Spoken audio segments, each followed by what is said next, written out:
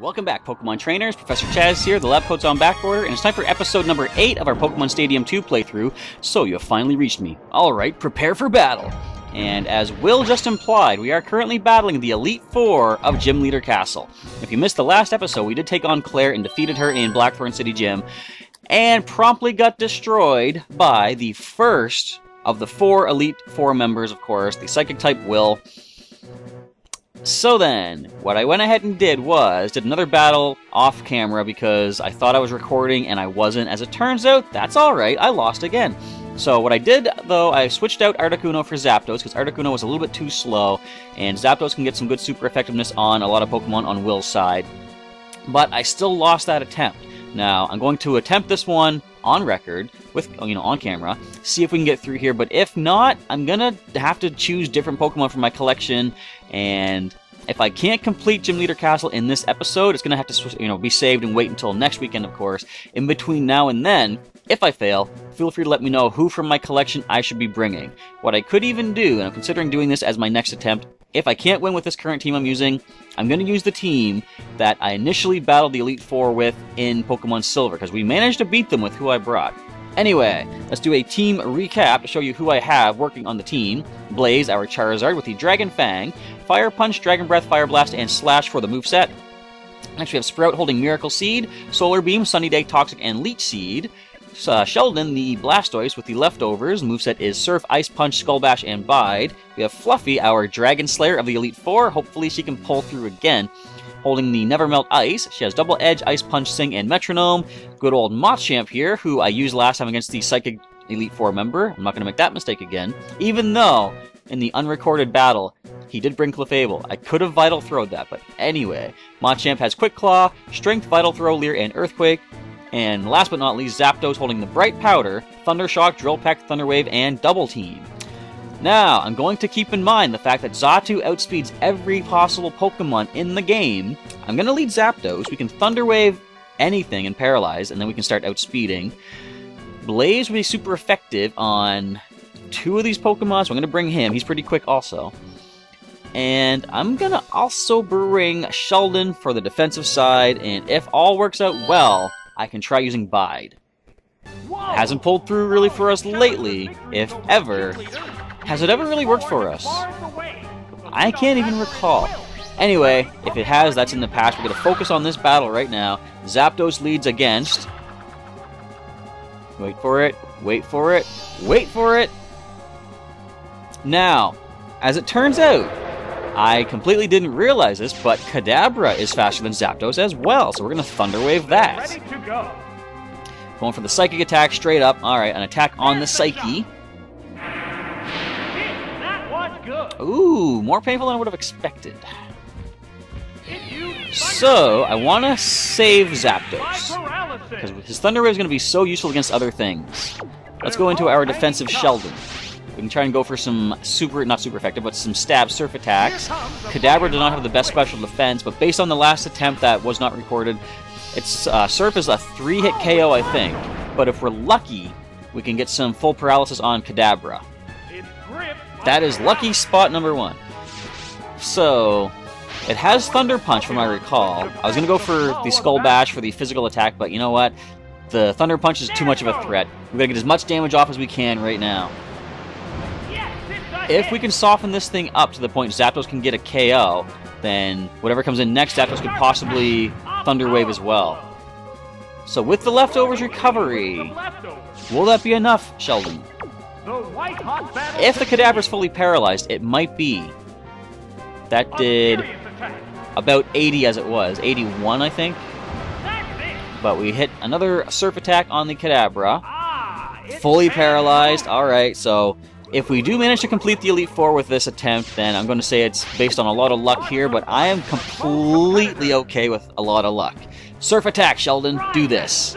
Kadabra does fall. Now, do we see the Exeggutor? The Exeggutor has Giga Drain. I did bring Blaze, though. I can switch into him. Xatu would be a problem as well, but I have Ice Punch. Lapras would be a big issue. Oh, it's Clefable! Clefable, not quite as much. I'm gonna stay and go for the Surf attack once again. I was going for the stab surf, get as much damage off as we can. We're faster than Clefable. Excellent, good to know. Come on, you can do this. Yeah, it's going to be another three hits if we survive a Thunder. Which we do. And Leftovers heals us up. We can maybe handle another one at this point. Big HP difference. Yes, there is. Can we get a critical? I'm only asking for too much. So, it's not going to be critical. Although, if it was, I would have been okay with that. And Psychic Attack. Alright. So it's got Thunder. It's got Psychic. I'm going to bring Zapdos now. Would his special defense be enough to handle either of those attacks? Maybe. But we're going to go in and go for the Drill Peck. I think Drill Peck will be the most effective. And we gotta hope that we can take this thing down and possibly get a Thunder Wave off on whatever else comes in next. Yeah, one more Drill Peck should get the KO. As they fire off the Thunder, can we dodge this? Got Bright Powder. Excellent! Alright, we are in a decent spot this time around. Let's go ahead, Drill Peck once again, Clefable falls, one Pokemon remaining. I'm hoping it's something that we are faster than and we can Thunder Wave. Now, the Lapras will be a problem because we only have Blaze in reserve. Zapdos has only Thunder Shock. And again, I said this before, it's too bad you only get one Thunderbolt TM. Oh, actually, Thunderbolt is not a TM in Gen 2. It is a move tutor move in Crystal, which I could possibly do at some point off camera, but we'll, no, I'm probably not going to bother with doing that. Let's see if we can handle this. The Bright Powder! Yes! Alright, Thunder Wave, do it! Yeah, I could do an off-camera Pokemon Crystal thing and just get Thunderbolt for Zapdos, but uh, Thunderbolt becomes a TM in like the next generation again, so eventually once we get to Gen 5, that was a lot more powerful than I would have thought. Once we get to Gen 5, TMs are multi-used anyway, so although it might take a while to get to that point, Zapdos will eventually get his Thunderbolt attack. So just bear with me as we don't quite finish the Xatu, but that was so much luck on my side. I am okay with that. We had dodged the Psychic with the Bright Powder. We Thunder Wave. We managed to get two full turns of paralysis. I bet you didn't see that coming, Will. I will tell you this much, I didn't. You blew it all? No, that is just luck. But if that's what I need to get Moonlight on my Clefable, I will take all the luck you want to slide my way all the luck you're willing to give me. I should have said that first. Now my pun is late and stupid. Or it would have been stupid anyway. I didn't read what he said. He's impressed, at least. I saw that much. So, Koga, the Ninja Master of the Elite Four. A lot of poison types generally. We don't have any grounded... Well, we have Earthquake. Would you care for a glimpse into the world of the ninja? Alright. So we see Muk. Muk is kind of hidden. And a lot of poison types, as I said. Electrode as well. A lot of potential for Giga Drain, which I don't like to see. I do want to bring Sheldon. Just in case the Gligar comes in, we can get some good damage off. Although, wait a minute, Fluffy has Ice Punch. So, best lead, I'm gonna lead Zap, or not Zapdos, Blaze. I'm bringing Fluffy. Zapdos would be pretty good against the Bugs and the Golbat. Let's do that. Can't really go for our own ninja tactics with uh, Sprout, because Toxic is blocked by the poison types. I must. You're right, sir. Now, as we go further into the Gym Leader Castle, the Elite Four, you're going to see like the, the scenery starts to change. It's hard to tell from this one to the previous battle, but the, the sky is starting to get a little bit darker. So, you are one that I don't want to take damage on Blaze for, so let's go and switch into... I'm gonna go Zapdos. Muk has decent special defense, but I don't think its physical defense is very good. However, I'm expecting we're gonna see Minimize and Acid Armor, perhaps. They could just go for Toxic as well. Well, Double Team, same idea as Minimize, basically. Except in Gen 5 and up. Is it 5 or Gen 6 and up? Minimize now doubles your, uh, your stat evasiveness boost. But if we can land Thunder Wave, we'll at least be in a decent-ish spot. Alright. Paralyze, that could help us out in the long run. Savor the toxic. We don't have any ways to cure off the toxic. appears To be the plan. This is going to be a problem. from both competitors. Drill Peck. Yeah, probably Drill Peck is the best way to go. They haven't done any acid armoring yet. If we can land the hit, come on, Zapdos. What now? That did little damage. Yeah, little damage going to take a few more of those. Koga is going to be a problem. So who do I not need? I'm thinking Zapdos. Well, I was thinking saving Zapdos for the bug types, but Blaze is here with the Fire Punch and Fire Blast, so he's probably more effective. I think I'm going to keep Zapdos in at least until the Toxic is about halfway down. I can switch him out. At least doing so is going to reset the amount of damage that Toxic is going to inflict on him. So it's going to increase the number of turns we can keep him in battle. Excuse me, we got like the hiccups here. of fight left in both of them. Alright, come on, we can do this.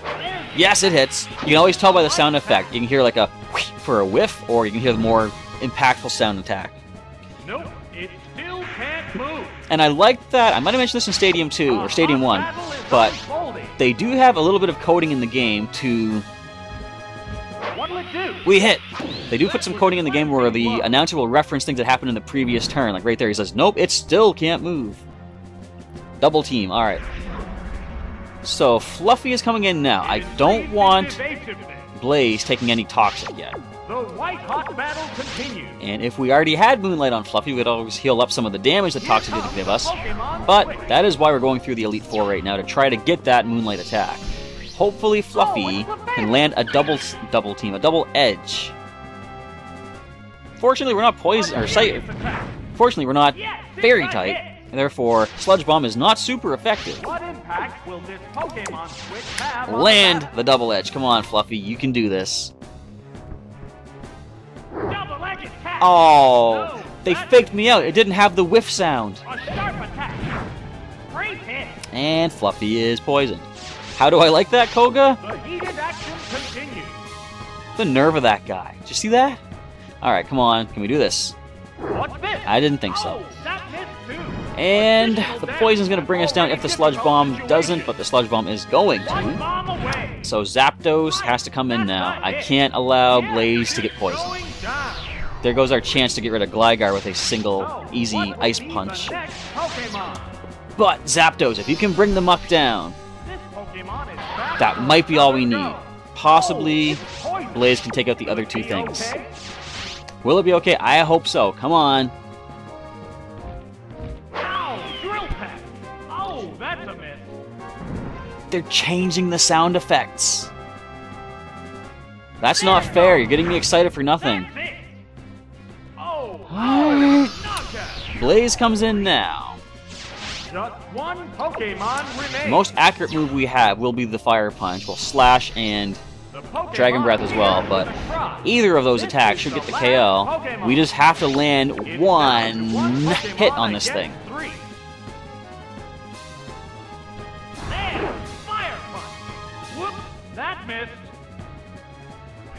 You've been dodging every single hit. Not hit. You've been dodging every single attack. Why do you need more double team? The answer is you don't. Because you're done! I thought that would work. And there's the toxic. You can miss this, you know. What'll it do? No, Thank you. Not fully accurate. a fierce battle. Come on, Blaze. Come on, Blaze. Heart of the cards! Oh, that missed too. There's the attack. Wearing the bow down appears to be the plan. The white hot battle continues. I have an idea. What's this? Oh my! Not for this fight, again. but I have an idea for the future attempt. There's the shot. Hit. That was good. They're both hanging tough. Koga likes to poison things. Alright?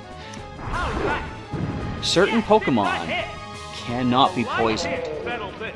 Those are poison types. A light hit settles this. This cannot be. Oh, yes, it can. But. Since I expect we're going to be losing this attempt, Venomoth. You know what? You're taking a Fire Blast, buddy. Since I expect we're going to lose this attempt, I have an option for who I can bring in. We might not need him. We might manage to pull through this. I'm not going to get excited yet because we are on a timer with that Toxic. Come on, show us the Ariados. Oh, it's Ariados. This is the last Pokemon. Hmm. I don't want to risk them getting a Sludge Bomb on us and knocking us out. I'm going for the inaccurate Fire Blast. Just sit back and let this happen. Might land the hit, might miss, might lose the match. Let's find out.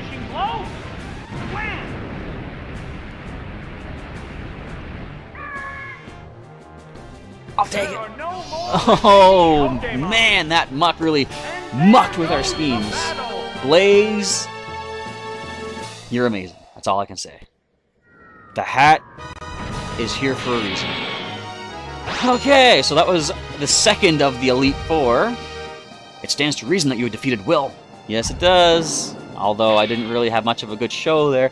My idea was going to be I could bring Arbok, immune to the toxic. Haze could eliminate all those stat changes. We could glare and paralyze things, but that is all in the past. Let's continue going after Bruno, the fighting type. It would disturb me for you to underestimate my fighting Pokemon. Get ready! We have Drill Peck on Zapdos, but they have Golem.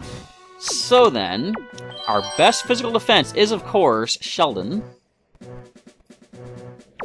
Leading with him. I am bringing Zapdos. And possibly I'm thinking Blaze would resist the fighting attacks. And you know what? I see Blastoise there. No, hang on. I'm bringing Sprout. We haven't used him yet. Plus, the Blastoise is there. I can go for a Sunny Day Solar Beam combo. Now look at the sky. opponent is Bruno. How will the challenger bear up against the punishment from his fighting Pokemon? Hopefully better than we did against Koga. Thank you for asking, sir. Look how far up we've gone on the uh, the ladder here too. Not ladder, but the platforms. And is that a Charizard in the background? A giant statue. Ah, a Blastoise versus Blastoise. Now is the time to bide. If it's going to work at all, this is the time. Their Blastoise is faster. But we resist this nicely. And since we don't take a lot of damage from that, that means that we're not going to dish out a lot in response. But, you know what? We'll get what we can. They're probably going to, Switch out. Now that we're locked into Bide. Hmm. Oh, Machamp.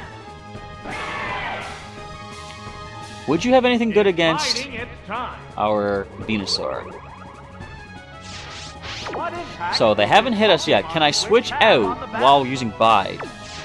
I can. Plans are made. All right. It's not like in the uh, Game Boy game where you're locked into it and you have to wait till it uses up its, you know, two or three turns of storing energy. So what does the Machamp go for? I'm hoping Earthquake. Cross Chop. It's high critical hit ratio. It did bring our Machamp down in the Elite Four. We handle that though. Do we Thunder? Wave or just Drill Peck? I'm gonna Drill Peck. I think Sprout or Sheldon could be faster than Machamp if they have to come in. So let's get the damage off that we can right now.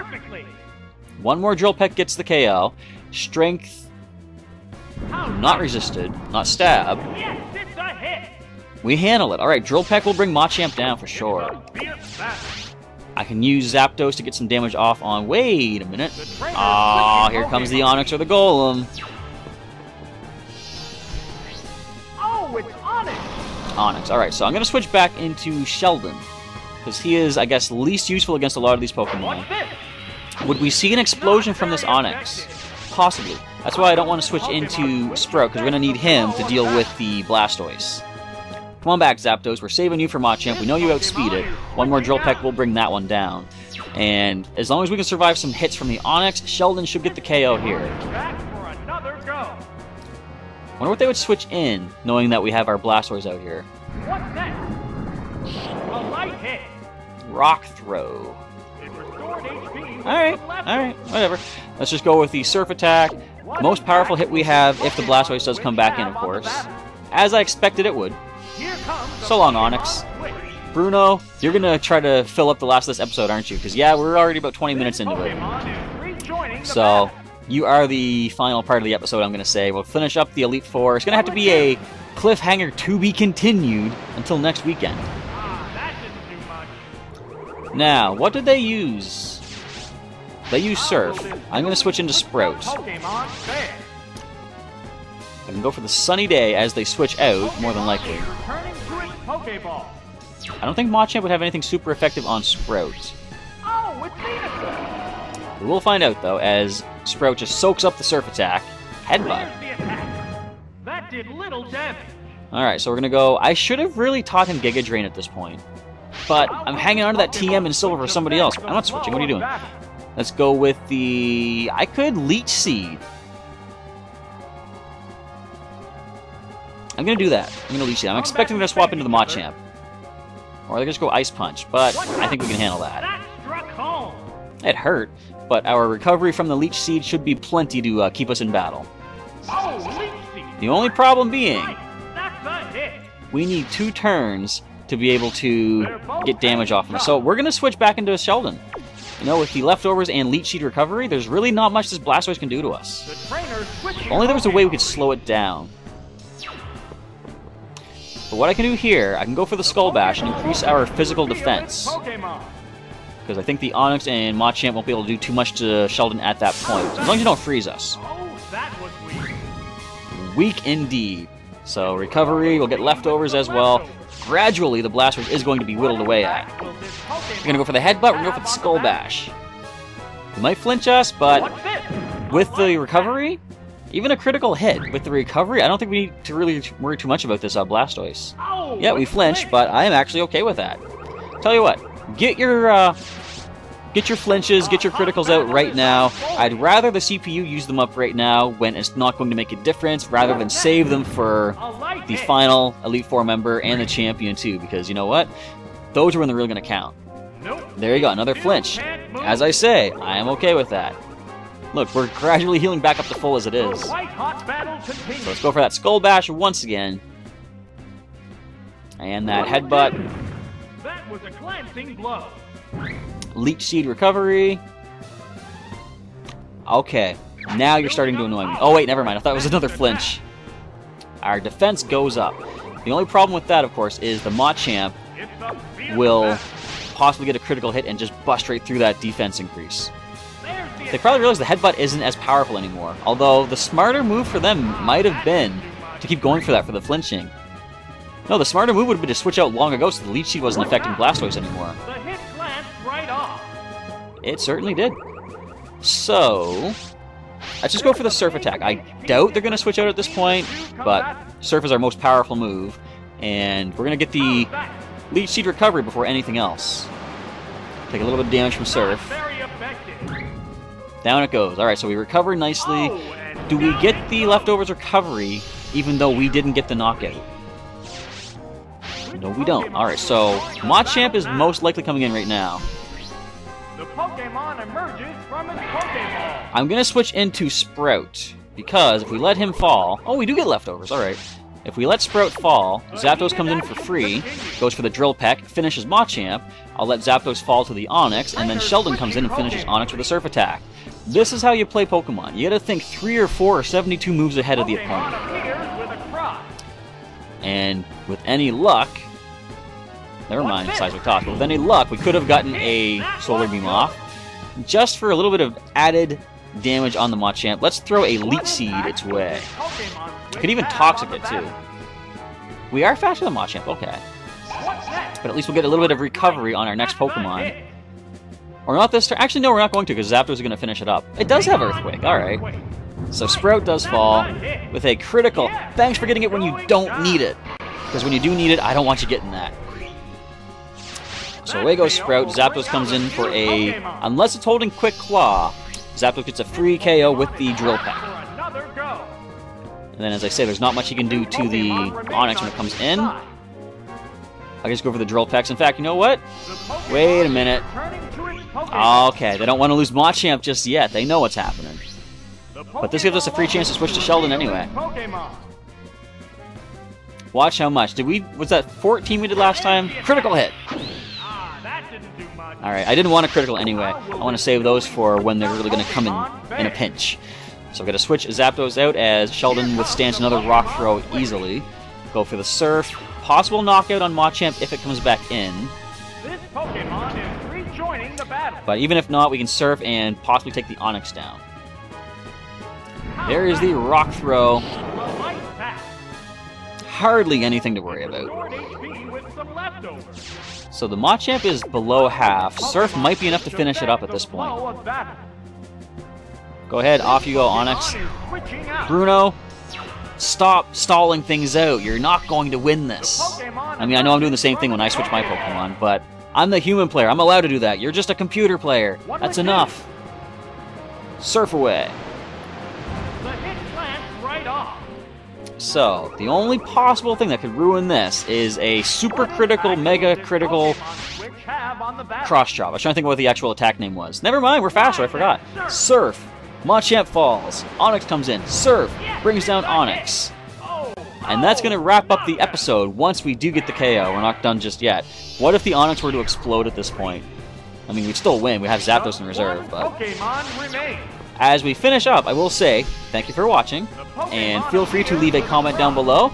As I said, since Bruno decided to stall things out a little too long, I'm going to save the rest of the Elite Four for next weekend. So I have to come back next weekend to check that out and see if we actually managed to win. How are we faster than Onix? Anyway, this is going to be the finishing blow, as the announcer did indicate. Onix falls, and hopefully we'll have completed the Elite Four next weekend.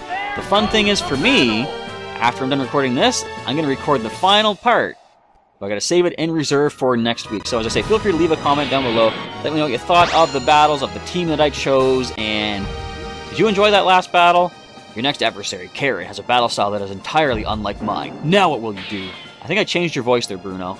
But, as I say, that is going to wrap up today's episode, this last weekend's episode of Pokemon Stadium 2. Again, feel free to let me know what you thought in the comments down below.